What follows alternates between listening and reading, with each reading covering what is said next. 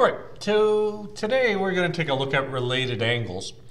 And you may have seen related angles 0 to 180 degrees or 0 to 360. So today we're going to talk about related angles 0 to 360. What are related angles? Why are they called related? Well, a related angle really means that angles that have sort of the same characteristics. So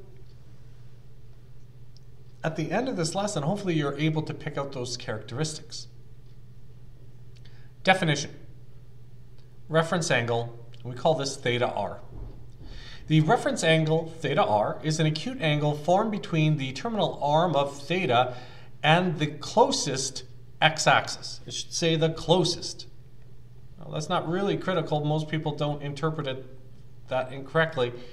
Another way to think of a reference angle is the distance between the terminal arm and the closest x-axis. So let us consider four angles. The four angles that I wish to consider are 30, 150, and 210 degrees.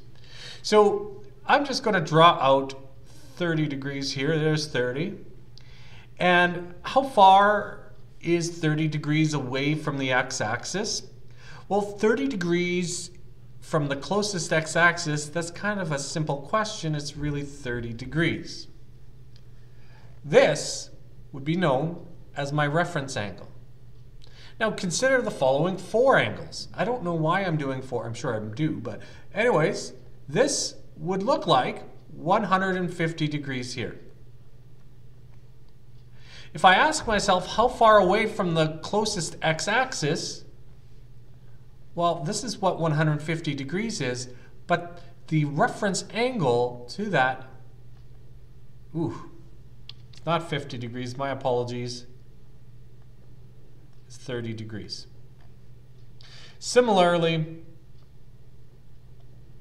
there's 100 or 210 degrees. That's what that looks like. And if I ask myself, how far is this away from the closest x-axis?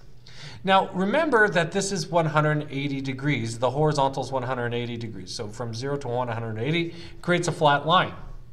However, if 210, that means that we go an additional 30 degrees.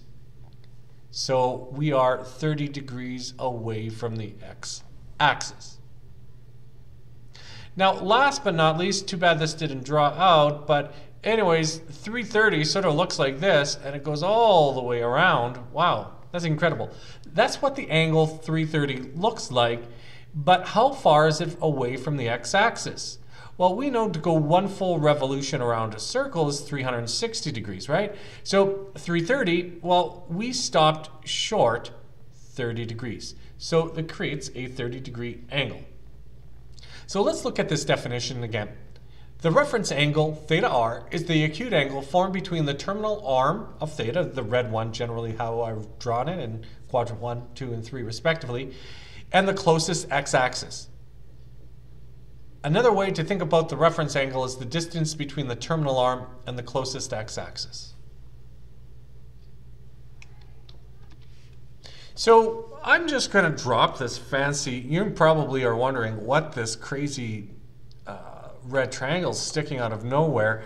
Well, let us suppose, and we'll see this later, I can prove it later, that we have a triangle with 30 degrees and uh, a hypotenuse is 1. It can be shown that the opposite side, 30 degrees, is 1 half, and the adjacent side is root 3 over 2. So really, I can take this triangle, I can plop it into each one of these scenarios. Exactly what we've seen. Now, what do we notice? Now, sine the height of my triangle, now I'm going to call it height, and really this side is going to be 1 half. This side is going to be length root 3 over 2. What can be shown, consider these trigonometric ratios. What is so special about these? Number one, they are related. How? Uh, let's just take a peek. Oh, there, there's the relation or the definition of a related angle. They have something in common. That is, they're all 30 degrees away from the x-axis. Now, you might have to trust me on this, let's take a look at the sine, cosine, and tangent values of these related angles. Everything in quadrant 1, sine, cosine, and or tangent are positive. Might, what, might be what you expect. The tangent of 30 degrees is 1 half. Cosine is root 3 over 2. The tangent is 1 over root 3. Don't believe me? Try it out. You can simply ask yourself and construct those values from this triangle that I showed you. But more interestingly, between the angles, the sine value stays the same. Since they're related, they're the same distance away from the x-axis, that is, they have the same reference angle.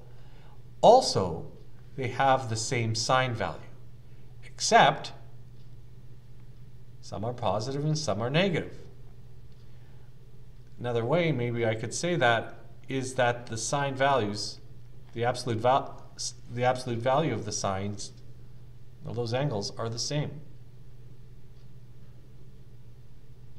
Same with cosine. I, I know that in quadrant 1, x is positive, so the cosine is positive. Quadrant 2, the cosine is negative. But let's look at the absolute value of these cosine values. They're all the same. The absolute value of cosine of any 30 degree family angle is going to be root 3 over 2. Same with the tangent. Tangent values are all the same. We just need to pick apart which one's positive, which one's negative. Well, fabulous. You may be a little bit lost because I just dropped a whole bunch of information on your lap and it is 12 uh, trigonometric ratios. What do I want you to walk away from this? Notice that these angles are all 30 degrees away. Notice these related angles, same characteristics, have the same sine value in absolute value have the same cosine value in absolute value, have the same tangent value, absolute value. We just need to pick apart which one's positive, which one's negative. We're going to be building a mountain out of this molehill, I'm sure. Definition. Related angles are angles that are the same distance away from the x-axis. Some people might say, oh, they have the same reference angle. For any given angle, from 0 to 360, there will be one related angle per quadrant. So,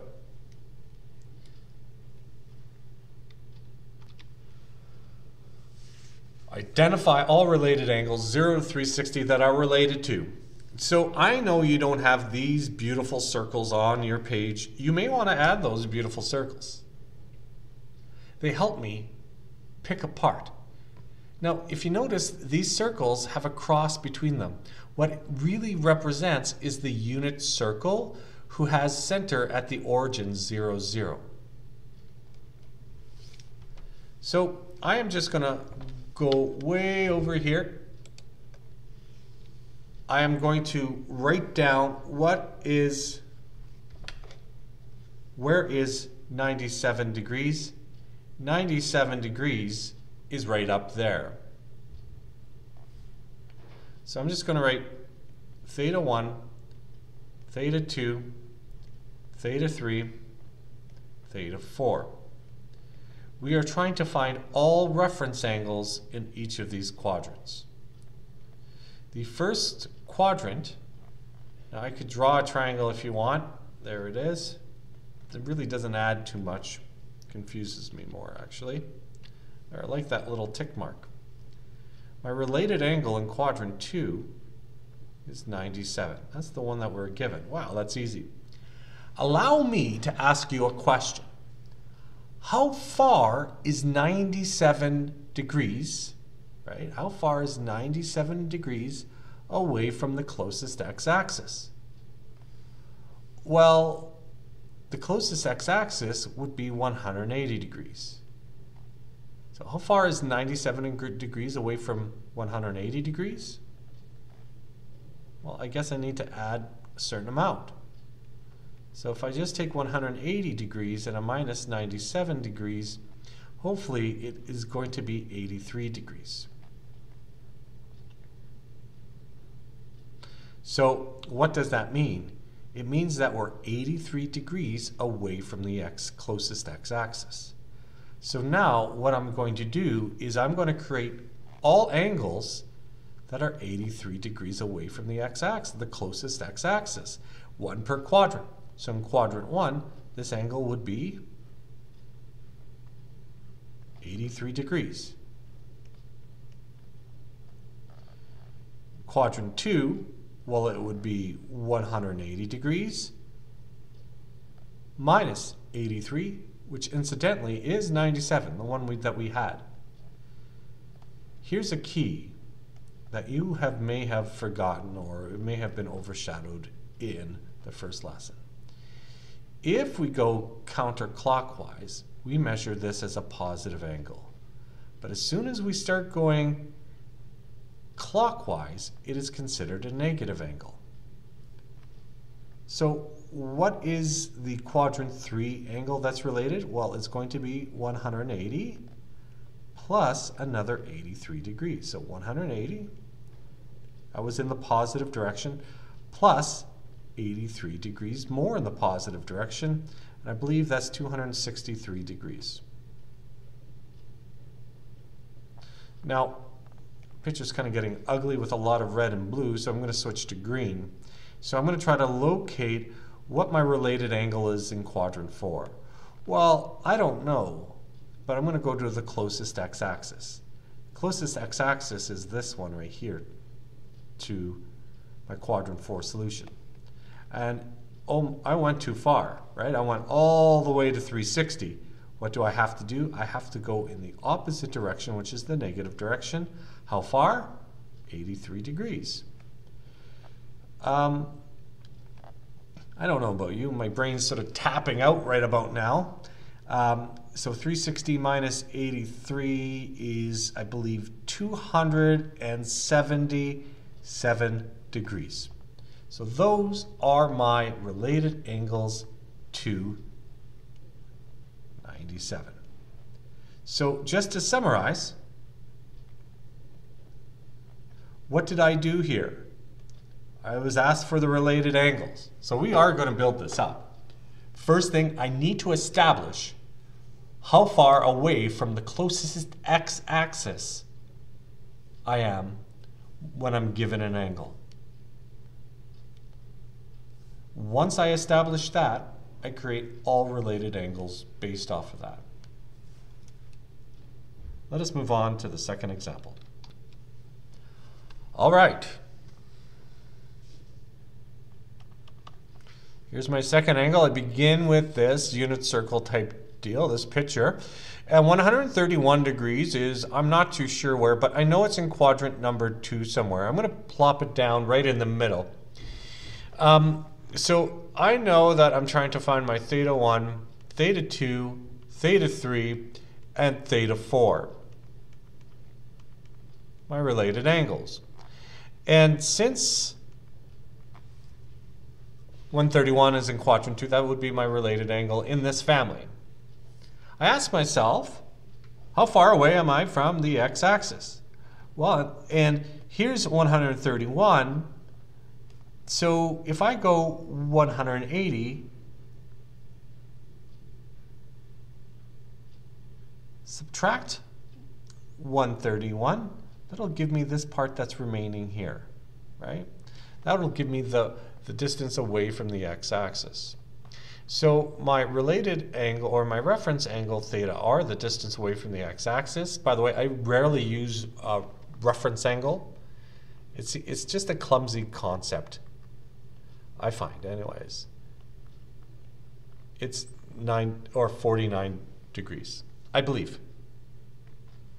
So how far am, am I away from the x-axis? I'm 49 degrees. So therefore, my theta 1 is going to be 49 degrees. That's the angle that is 49 degrees. My theta 3 is going to be 180 plus 49. 180 plus 49. So that would be 229. Okay? 180 plus 49. My angle 4, or quadrant 4 angle, is going to be, whoa, 360. Minus 49. I wish there, my handwriting was neater with this tool, but I apologize. So what I'm left with, I believe, is 311 degrees. So those are my angles. So try out the next couple of examples. And press pause. I'll reveal the third related angle family and the solutions to that. And after that, I'll work on the last one. So very quickly, I can settle up, um, answer the question, how far is 266 degrees away from the closest x-axis? Recognize the closest x-axis is still 180. And that will be the case if you're dealing with angles in quadrant one, or sorry, quadrant two and quadrant uh, three. So I am 86 degrees away from the x-axis here. So now this is all good. So theta 3, I know that my related angle is uh, 266 degrees. My theta 1 angle, well the only angle that is 86 degrees away from the closest x-axis is 86 degrees. Quadrant 2, now this is where it gets tricky because it is 180 in the positive direction, minus 86 away in that direction. So 180 minus 86 yields me with 90, oh, sorry, Gotta switch colors because it's all starting to look the same. 94 degrees. And my theta 4 is going to be, well, 360 minus 86 degrees, and we're going to end up right over there. And it's 274 degrees. Now, with this example, what this example illustrates to many students is that there is symmetry about the x-axis, right? We're all the same distance away from the x-axis, the closest x-axis, but we're also the, the same distance away from the closest y-axis. So sometimes it's easier to think about, oh, how far am I away from the y-axis, especially this question. But I implore you not to do that. Not until you're much, much more skilled into the last part of the unit. Anyways. Those are my solutions. Let's try the last example. To help me with the picture, I'm just going to draw uh, 351 degrees. 351 degrees is fairly close to 360. Uh, so it's fairly close to the x-axis. My related angles also have to be the same distance away from the x-axis. So they're relatively close. Now, if I ask you how far is 351 degrees away from the x-axis, you would say, well, if I only go 9 degrees more, I'm at 360. So, or we could construct this formula. Now, I would almost rather students use their head and use mental math because that's when things become much, much more transparent. So, for example, I know that my related angle in quadrant 4 is 351 because that was given. Now the quadrant number 1 angle, well, only 9 degrees is away, or only 9 degrees away from the positive x-axis. For the quadrant 2 solution, we are going to be, think of it, this is 180 minus 9. We are 171 degrees away or that's my related angle in quadrant 2. And my related angle in quadrant 3 is 180 plus 9. 189. So those are my four related angles to 351. Now notice how I just used mental math instead of a formula-based approach.